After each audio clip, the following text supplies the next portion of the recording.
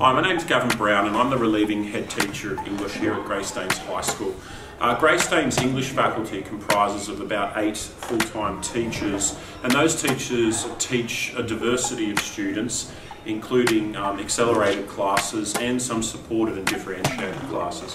We have teachers that specialise in EALD and support students whose language background isn't English. We also provide a number of extracurricular activities, including public speaking and debating. And we're very proud that English over the last five years has consistently performed above state average for the higher school certificate. English is a subject that enriches our students' lives, and we feel that we provide them with a curriculum that will challenge and inspire our 21st century. Hi, my name's Jasmine Wall. I'm an English teacher at Greystanes High School. I've Been working at Greystanes High School for six years now. During my time at Greystanes High School, I've had the opportunity to teach the English Studies course a few times. Hi, my name's Miss Chris. Um, I have uh, a number of roles at the school. First of all, I'm a classroom teacher um, in the English faculty. I'm also the English as an additional language teacher uh, coordinator and I'm the head teacher of innovation and classroom mentoring, which is a new position that I've um, started this, this year and it's been really exciting. The English faculty engage with the students? Uh, the English faculty does a number of things to really engage our students. We follow a LISC um, system whereby we have a learning intention for every lesson where we posit a particular question to the kids and then we provide them with success criteria that they have to meet in order to be successful in that lesson.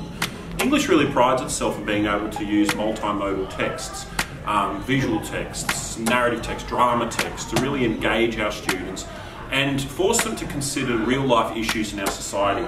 We also ask the kids to do a number of wide reading activities where we showcase the kids a number of different things occurring in our society and our world and really challenge them to think, question and consider where they stand on particular issues and values.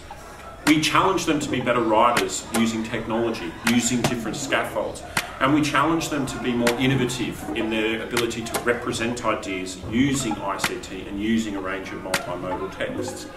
English is a powerful subject area and we're really proud that we offer our students a number of different ways to engage with it. What topic. makes English studies different to standard and advanced? So English Studies is a non-ATAR course, which means if you'd like to go to university straight out of high school, then English Studies is not the course for you.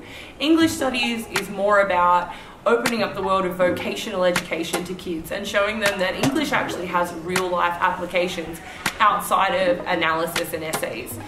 In English studies, we move towards actually preparing you for the workforce, living life outside of your parents' house, and learning how to communicate in day to day life. What are some of the new teaching ideas that you are practicing? Okay, so this year's been pretty exciting. In my role as head teacher of innovation and classroom mentoring, we're trialling or having a go at project-based learning in the classroom. So I've been uh, trialling project-based learning with my Year 8 class and it's been really fun and exciting because it's been student driven, student centred. Um, the kids have had lots of opportunities to have freedom of choice in terms of what they would like to create in the particular task that we're doing.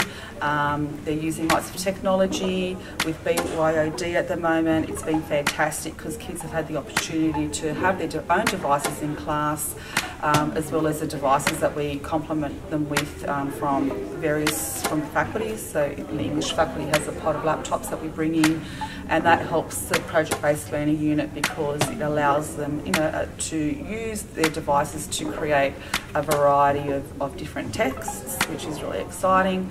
Um, and it's again putting, I suppose, if you put out the values of respect, responsibility, and active learning, project based learning really supports active learning. It's getting kids engaged in their own learning, making their own choices, and working collaboratively, which is you know, a skill that I think they need for life. Um, and with all the kids working together and communicating, they are really developing the skills that they need to be successful adults in the workforce.